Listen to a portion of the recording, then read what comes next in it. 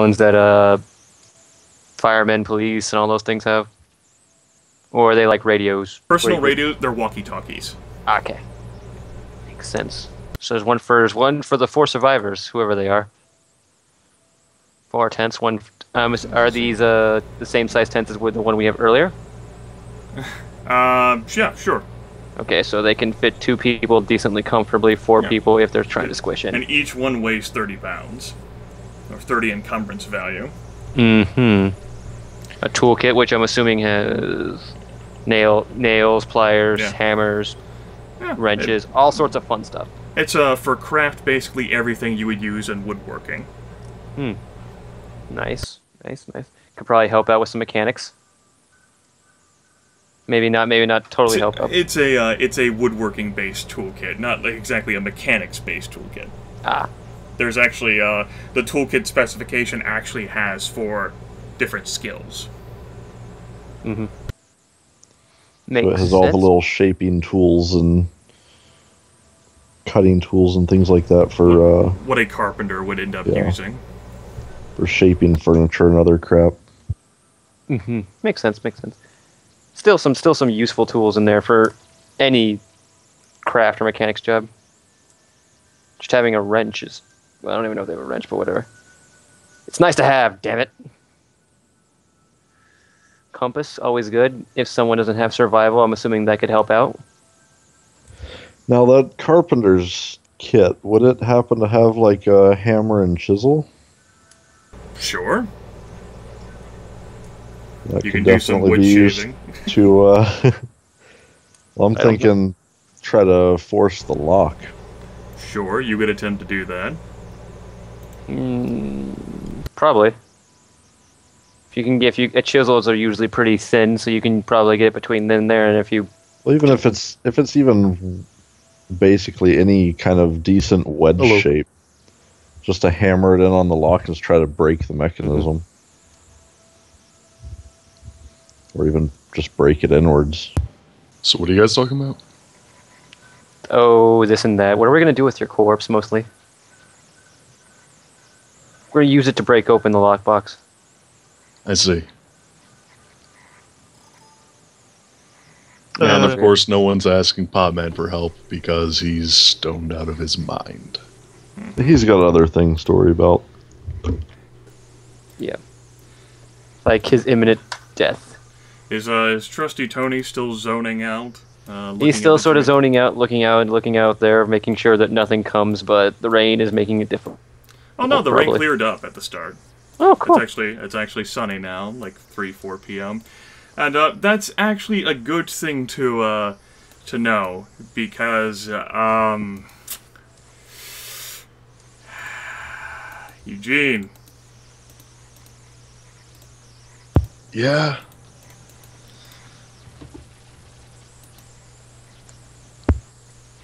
it's gonna be at uh, basically a uh, plus six bonus, as sort of out of the corner of of Eugene's completely toked up vision. Uh, apparently, this Zed head has managed to creep in through the church without being heard at all, and with its claws, a plus six bonus, uh, swings at the sort of unmoving and capable of dodging Eugene. with that, that would definitely be a hit.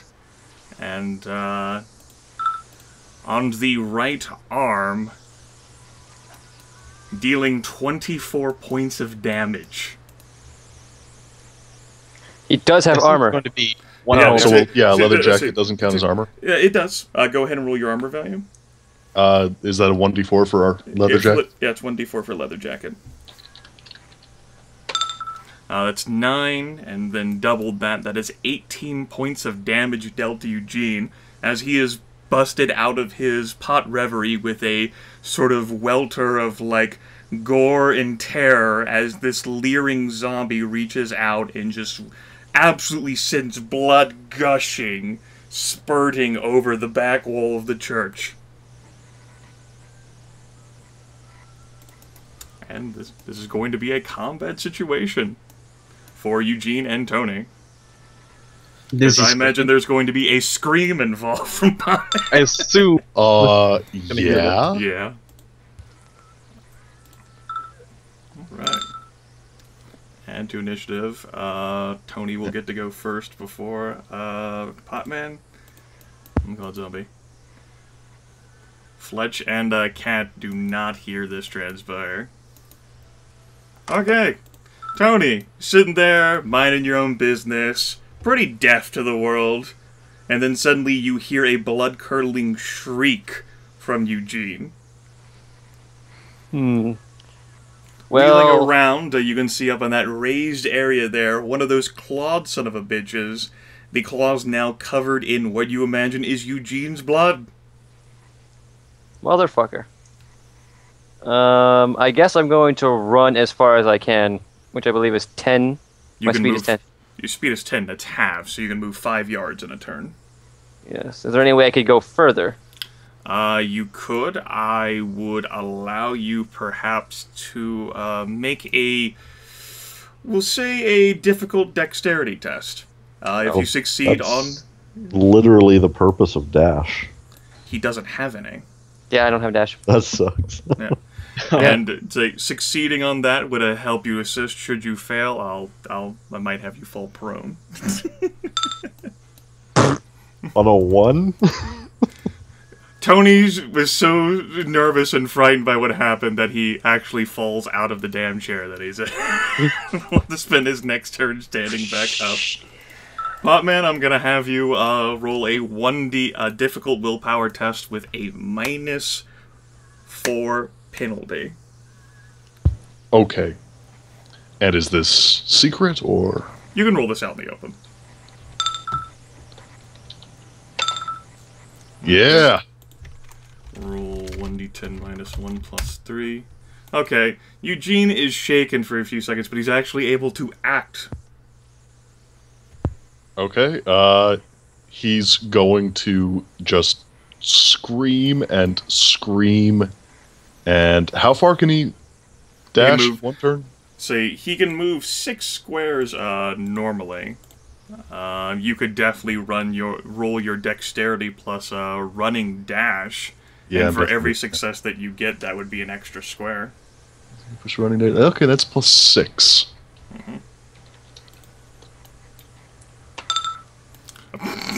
Go ahead and roll another d10. All right, uh, that's four. So go ahead and move uh, ten squares for me in any direction that you'd like. All right, let's see. One, two, three, four, five. And of course, you can press space if you want to set waypoints for whatever reason. Oh, right.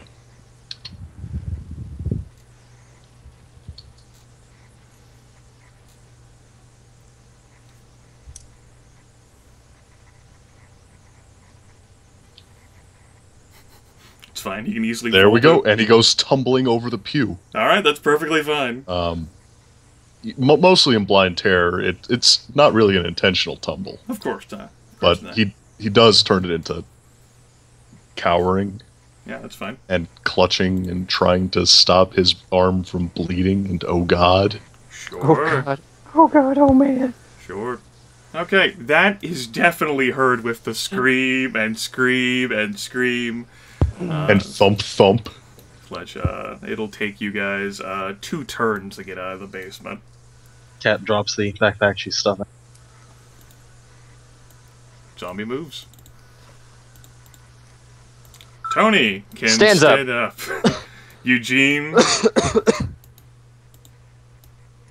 What's Eugene want to do? Um, if he doesn't stop the bleeding, he's going to keep taking damage, right? No. Oh, That's uh, not exactly. It's not this. It's not like a realistic system here. We're doing No, I- I B-rated got you. zombie. I got you. Um, going to fucking hide, Okay. cry. That's perfectly fine. Uh, that can be done. I'll go ahead and clear the prone state off of Tony.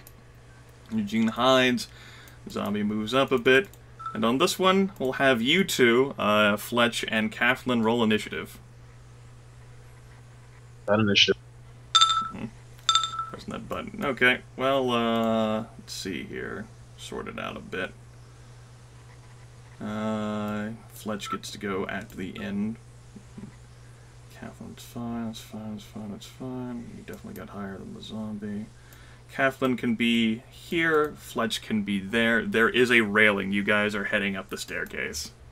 She's uh gonna try to climb that railing on our next turn. See. Uh, Tony, your intentions. Uh, move there because uh, sprinting caused him to fall on his fat ass. Okay, that's fine. Uh, Cat, you can try to do an acrobatics to uh, vault over. You're looking at a uh, for your intentions. It's fine. Uh, you're looking at a due to the reach of it a minus two. Minus two. Mm-hmm. Just making sure I've got my statics right. Mhm. There, okay. No, Should not be trying to climb with the bat in hand. Kathlyn does not move at all. Uh, Potman continues his uh his hiding, and uh, Fletch, you can go ahead and do your intentions. I assume he can walk by me though. Uh, stumbling past her as she kind of fails to get over the railing, you know, Uh-huh. pressing himself against the wall quickly to avoid her. Of He continues moving up the stairs and uh, draws his gun. Fletch can move a whopping eight squares, and uh, you can go ahead and do your move right now.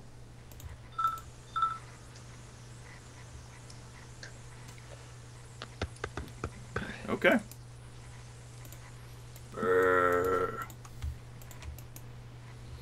Tony.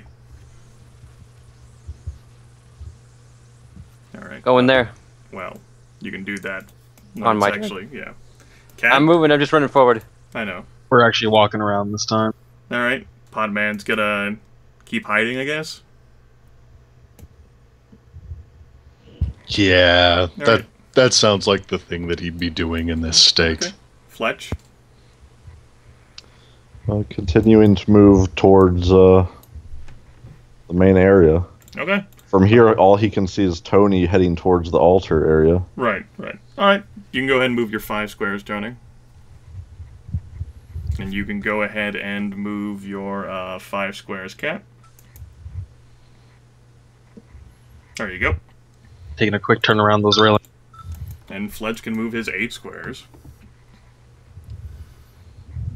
You can stop a bit if he wants. Um, I'm just gonna let him go at three to see what he can see there. If he can't see uh, anything. So that would that's be when- four. Yep.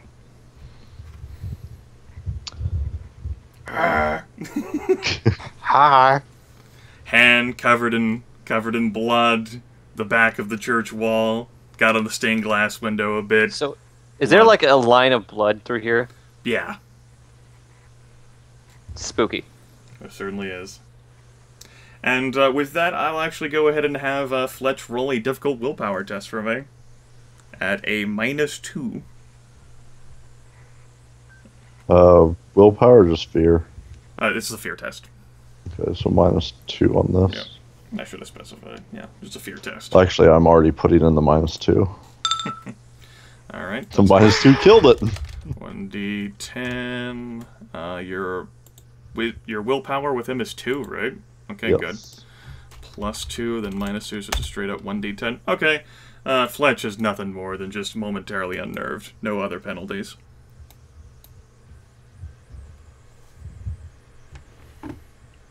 Hmm. Okay. Tony intentions. Running five. Running five things forward. Cat intentions. Um, yeah, gonna move the five. Potman cowers. Fletch intentions. Aim headshot. Okay. Tony, you move your five. Aha! Cat, you can move your five. I am now within short range. Time to die, zombie. Potman grovels. Uh, Fletch, you can go ahead and do your aim thing.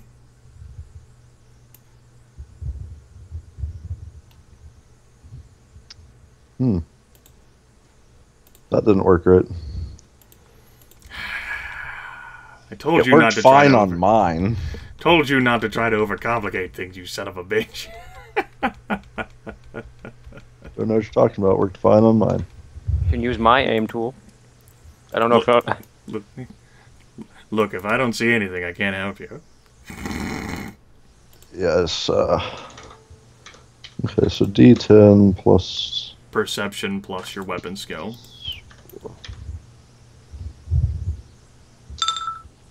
There you go. That's uh, two successes, so that can be a plus two to your attack roll. Okay. Lose one space. Your time to shoot. He is in point blank now. Hooray. plus one, plus two. You can go ahead and give me a description then, Seven. Please do. He goes down. As Fletch rounds the corner and Tony's running forward, I still haven't noticed uh, Potman sitting behind the the pew where the blood trail ends. Although I imagine I might hear some sort of whimpering as he cowers. Yeah, comes around, raises his gun, takes a moment to let it level, and just bam, right between the eyes. Alright, the clawed zombie drops down to the ground inanimate. And the combat scene is over. Cat's gonna notice the blood trail and immediately go back down and grab the doctor's bag and bring it up. Well, and a first aid kit, just in case. Oh, inverse that. And head over towards the blood trail. Gonna look over at uh, Eugene, ask him, oh, oh god, It was just the claws.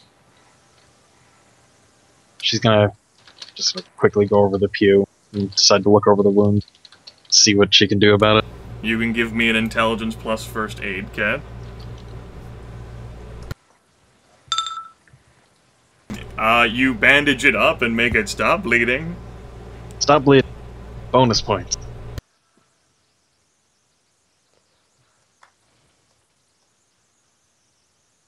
So, uh, how did that thing get in here? Tony? Yeah, my immediate reaction is to head towards the other door to check. I, I, I locked that door. I don't know how they could have got in. I mean, Alright. I mean, maybe there was one hiding underneath it. I, I don't know. There's one under a pew. I. Maybe. Okay. She's going to actually kind of put her head down and look underneath everything, just like a quick sweep. No, it doesn't look like What? there's anything moving under the pews or really anything other at all. Um, she's gonna see like there was morphine in that doctor's bag, right? Um, Or some sort of really strong painkiller. sure, in the doctor's bag, yeah. She's gonna take that out and basically give Potman a quick shot to make him stop hurting his heroin. Okay. You do that.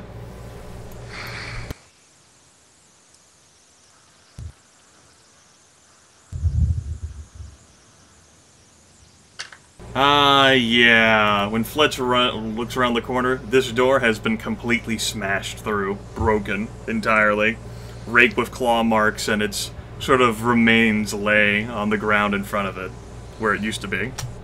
Shit, it must have busted through while we were fighting at the front.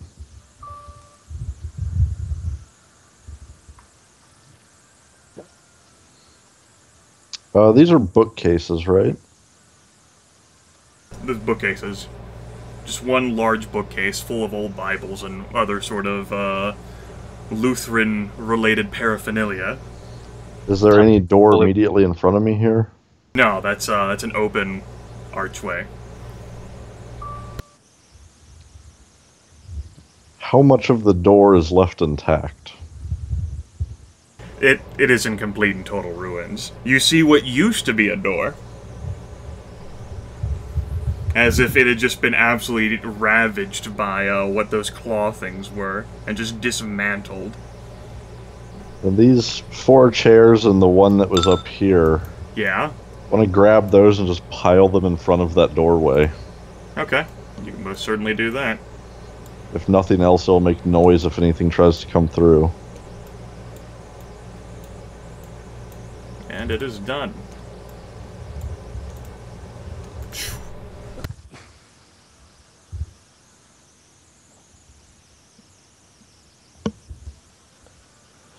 Cat's gonna uh, watch that and move over to a pew.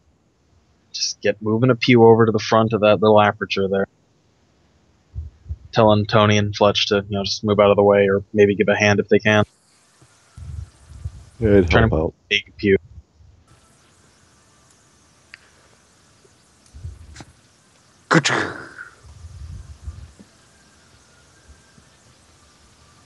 So we'll hear the noise, and then even if they get through that, they'll have to get over the pew. Actually, Yep. is it possible to flip this pew on its side so that it's got like a flat face facing Sure. it? Sure, you can definitely do that. That'll uh, basically obscure uh, vision. Well, it's uh, definitely sturdier than most doors, though. I assumed the side door was a lot weaker looking than the front heavy doors. While while everybody's over here for the moment, uh, Fletch will quietly ask, "How's he looking?" It's uh, really bad. I gave him a shot of morphine, so at least he won't be uh, won't be hurting so much for a little while. I stopped As a bleeding. side note, Potman is so out of it now. Is it good to mix the pot and marijuana with shock, morphine? I imagine. It's okay. This is B-rated zombie movie. This is not any sort of scientific, you know, plot running in the background. We need to figure out the ramifications of all of our actions. Potman hmm. is fucking woo, and that's He all that zonked. matters. We got dangerously tactical for a while, though. He's like still sprawled over two pews and not moving. He's not bleeding either, though. That's about it.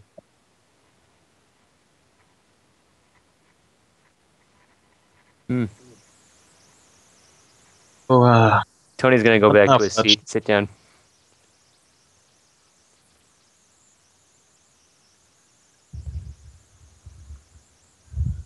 did uh, did you get that cabinet open before the screaming?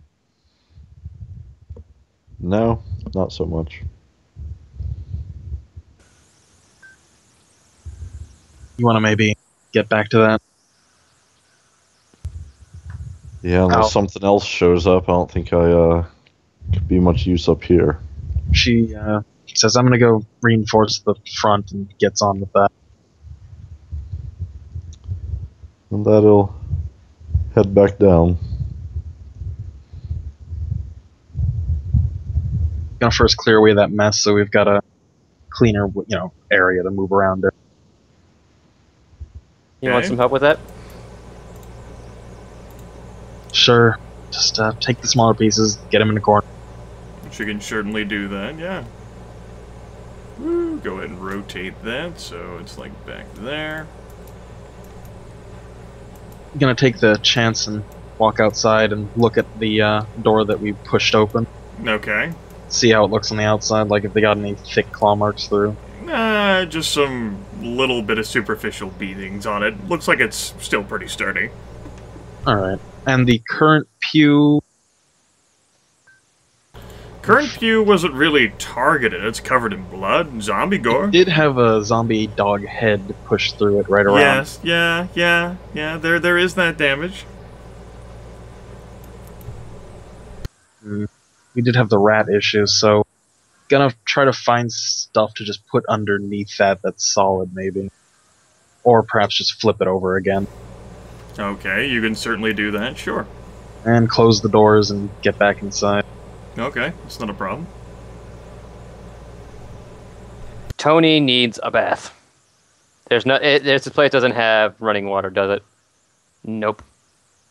Has a has like a, a sink down there, like where like the fridge is for the perishables. But there's no like, there's no shower time here.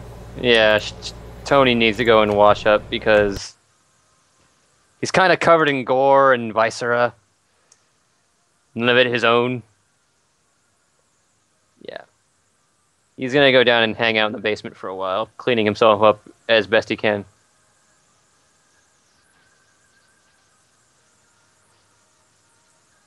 Cat's gonna take a seat on a pew and just kind of watch Potman. Tapping the bat against the floor, you know, and not boredom, but keep Sure. herself occupied. Sure, she can definitely do that. Uh, Tony walks downstairs to see all of the wealth of the various supplies there in that large sort of concrete room. One backpack's been like haphazardly thrown down as uh, you know, cat had come up. Rations all over the ground. He ignores that for now. Well, there is still the stuff we brought with us, which I think I've been keeping track of. Or at least some of it, yeah. Either way, Tony's going to be using the the sink to clean up at least his hands and face and as much of his clothes as he can. As best he can. That's what he'll be for a while.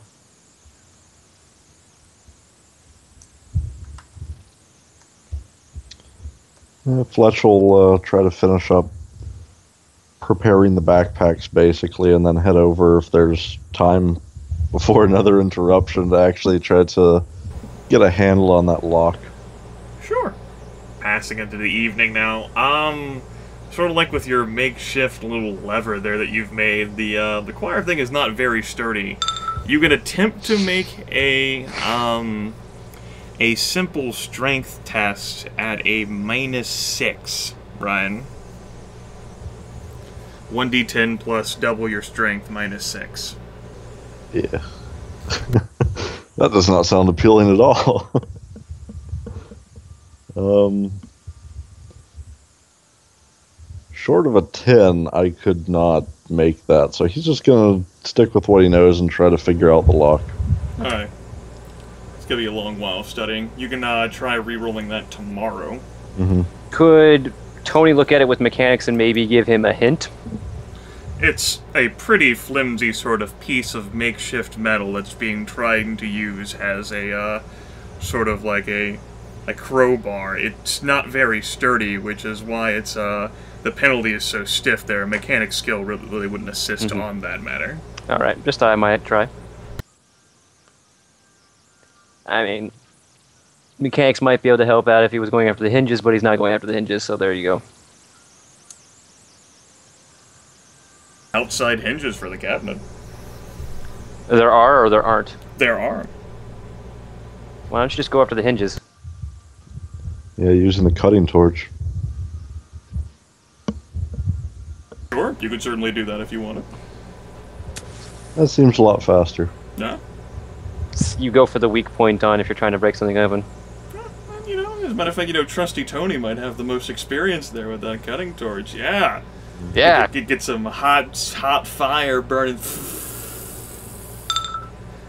Yep. Take Fancy. Yeah, I'll take. If you want me to, I'll try. I'll cut off those uh those hinges if you want me to.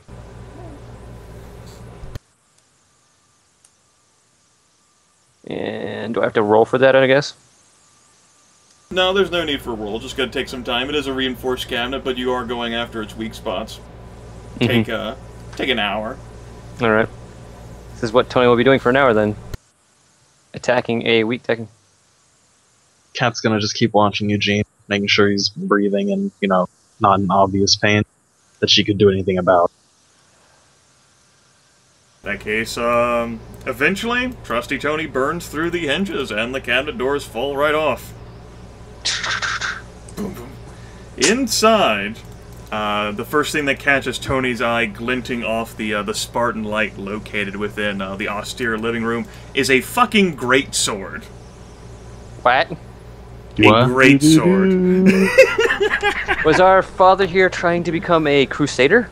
It was you know, it's like uh, strapped. You know, you got its hilt and everything. You sheath it. It's got uh, amusingly enough, like a CB, like embedded in little script in the pommel of the weapon.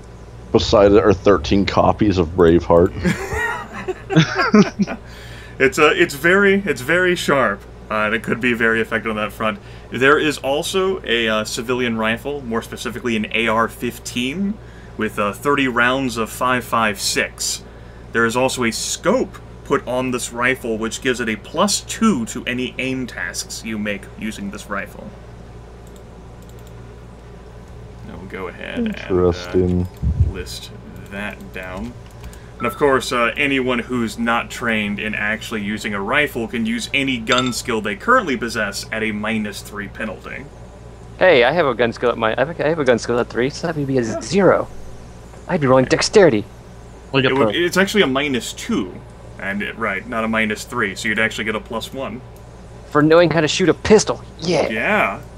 Uh, You also and you also have a Colt nine millimeter sim, uh, semi-automatic gun, semi, semi machine gun, excuse me, SMG, with a 32 round detachable box magazine. It's fully loaded. Oh yeah, you should definitely give Potman the automatic weapon. I Hey, think Potman, you want this? Hey, Potman, you want the automatic weapon? Silence. The only Well, response you- you, you- could get from Potman right now sounds like a zombie. You're shouting up from the basement from the little room. Hey, Potman! you want this? and then you have a gun cleaning kit with all the sort of like little tools and bells and whistles that you'd have in a gun cleaning kit to make sure the barrel remains clean and the gun remains serviceable through a hard use. Start checking the weapons over to make sure they're actually everything's cycling and functional. Oh yeah, they're they're great.